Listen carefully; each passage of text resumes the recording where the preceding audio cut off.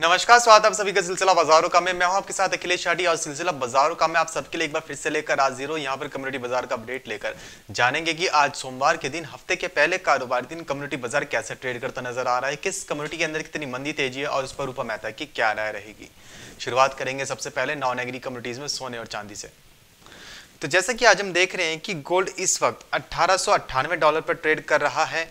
और जो सिल्वर है वो आधे फ़ीसदी की करेक्शन के साथ तेईस दशमलव आठ डॉलर पर ट्रेड करती नज़र आ रही है। देख रहे हैं कि गोल्ड और सिल्वर में पहले के मुकाबले जो प्राइसेस हैं हल्के से स्लिप हुए हैं। ऐसा नहीं कहेंगे कि गिरावट आई है ऐसा कह सकते हैं कि हल्की सी करेक्शन देखने को मिली है। वो भी इसलिए क्योंकि ये जो यू, यूक्रेन और यूएस को लेके जो जियोपॉलिटिकल टेंशन चल रही है उसकी वजह से ऐसा देखने को मिल रहा है। और आपको बता दें कि व्हाइट हाउस ने ऐसा कंफर्म किया है और कि यूएस प्रेसिडेंट जो जो बाइडन है और जो रशिया के प्रेसिडेंट हैं व्लाड पुटिन जी, वो बीच में अभी एक वो कर सकते हैं सबमिट कर सकते हैं, जिसकी वजह से, इस मुद्दे की वजह से गोल्ड और सिल्वर के जो प्राइजेज हैं, वो थोड़े रिट्रीट हुए हैं, थोड़े ईज अप हुए हैं, यानी कि उनमें एक हल्की सी करेक्शन आई है। इस खबर की वजह से उसमें गोल्ड और सिल्वर की जो प्राइसेस हैं, उनमें एक करेक्शन देखने को मिल रही है। रूपा जी सोने चांदी में क्या करके चलना चाहिए हफ़्ते के पहले कारोबारी दिन? देखिए रोज का मुनाफा उसके बढ़ सकती है तो थोड़ा हल्की बिकवाली करके चला जा सकता है। नीचे में एक बार उनचास हज़ार आठ सौ तक सोना लुढ़कता हुआ दिखाई दे सकता है। ओवरऑल ट्रेंड अभी भी पॉजिटिव है क्योंकि इंटरनेशनल लेवल पर देखा जाए तो महँगाई को लेकर अभी भी चिंताएँ बनी हुई है जिसके चलते आगे चलकर सोने में तेज़ी बनी रह सकती है लेकिन आज इंट्राडे में बिकवाली का प्रेशर देखने को मिल सकता है। जी। रूपा जी, बात करें यहाँ से अगर कच्चे तेल की तो देख रहे हैं कि कच्चा तेल भी थोड़ा फिसला है। डब्ल्यू टी नब्बे डॉलर के नीचे है, नवासी डॉलर पर है और ब्रेंड क्रूड ऑयल इक्यानवे डॉलर पर। रूपा जी, देख रहे हैं कि चौरानवे पिचानवे डॉलर से अब ब्रेंड क्रूड ऑयल सीधे इक्यानवे डॉलर पर ट्रेड करता नज़र आ रहा है। आपको क्या लगता है, ये यूएस ईरान की जो न्यूक्लियर डील है, उसका असर अभी बाज़ार पर और कितना देखने को मिल सकता है?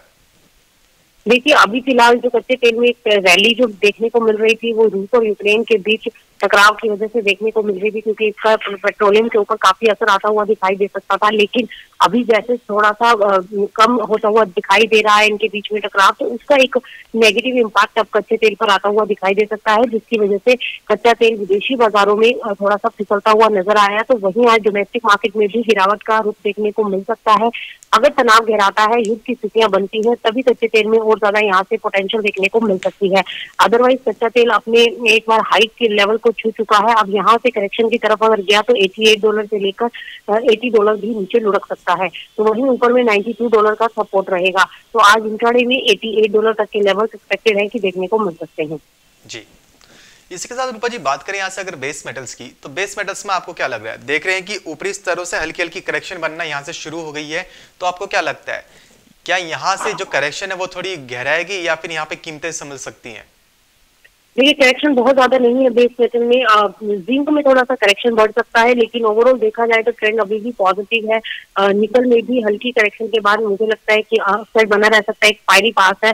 इस वजह से थोड़ा सा उठा पटक का मोल देखने को मिल सकता है। तो आज देखा जाए तो ओवरऑल सभी नॉन एग्री कमोडिटीज के अंदर करेक्शन एक बार देखने को मिल सकती है। जी। रूपरी टॉपिक्स के देना चाहेंगे अपने? आज नॉन एग्री कम्युनिटीज के अंदर हफ़्ते के पहले कारोबारी दिन जिनमें अच्छा मुनाफा कमा के चला जा सकता है। देखिए मुझे लगता है कि आज क्रूड में भी क्वाली किया जा सकता है। नीचे में एक बार क्रूड छियासठ सौ अस्सी से लेकर छियासठ सौ चालीस तक नीचे लुढ़कता हुआ दिखाई दे सकता है। जी। तो ये तो बात करी थी हमने यहाँ पे नॉन एग्री कम्युनिटीज की। सर्दियों में जब लगे वार्ड्रोब को अपडेट है करना तब बिग ब्लिस के क्लोथिंग सेक्शन को एक्सप्लोर है करना। बिग ब्लिस खुशियों की अपनी दुकान।